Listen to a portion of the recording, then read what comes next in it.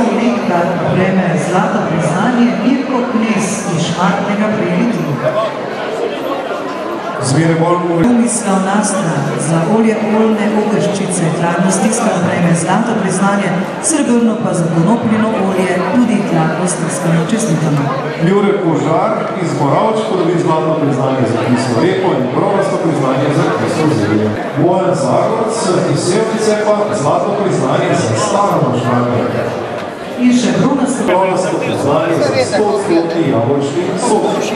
Pravno je srcu Nekaj posebnega in če dobijo še danes še zlato priznanje, mora biti to potem ekstra kvaliteta. Prihaja pa Janez Trnjak iz Krškega.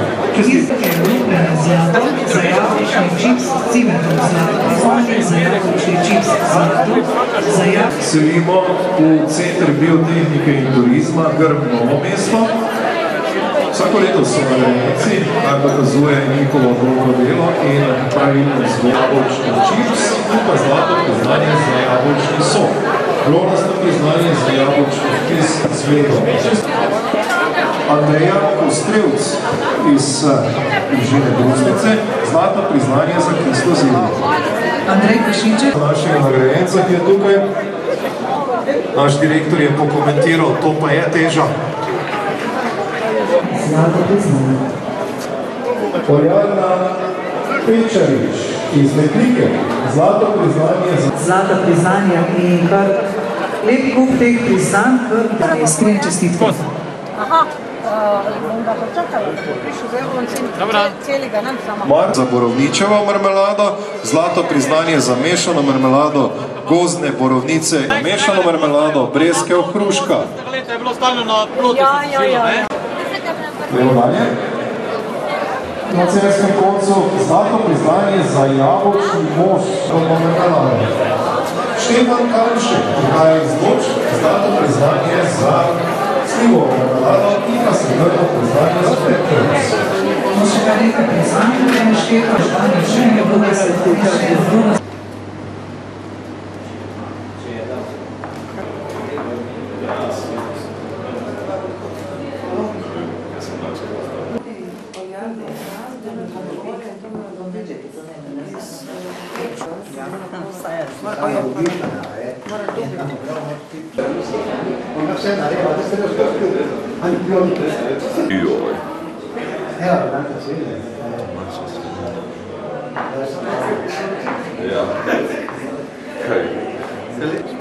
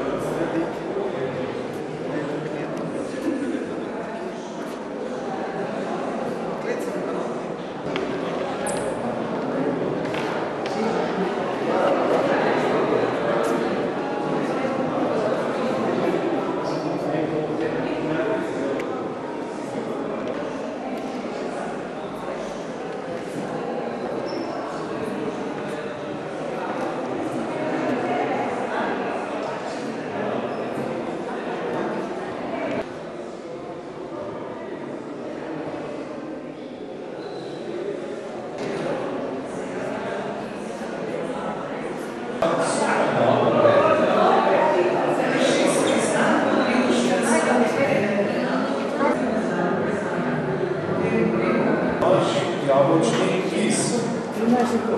Barbara Fela, je v založeni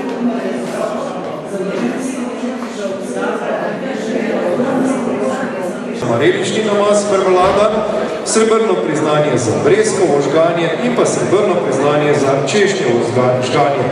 Iskrene čestitke. Leo Rič iz Podgorcev, zlato priznanje za kislo zelje. Franc Goričan za orekovo olje, zlato priznanje prihaja pa iz Cirkovca. Kmetija Brodnjak pa je v Hajdoša, dobijo pa zlato priznanje za Gorcev pa prejme za naravno naših stojnicah, tukaj na dvorišču ali pa v šotoru, ki ga imamo na drugem dvorišču, tam lahko tudi posedite, pa kaj pojeste, seveda pa lahko pojeste tudi kaj tukaj. Televiziji, da se je, Jaz bi ujela nekje to, da je. da se nekaj malta, Mislim,